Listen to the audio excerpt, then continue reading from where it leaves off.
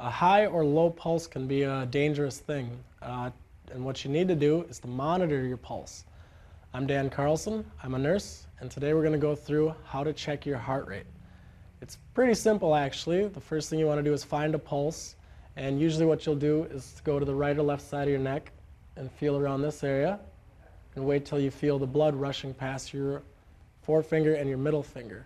Never use the thumb because the thumb has a pulse of its own and can throw the numbers off.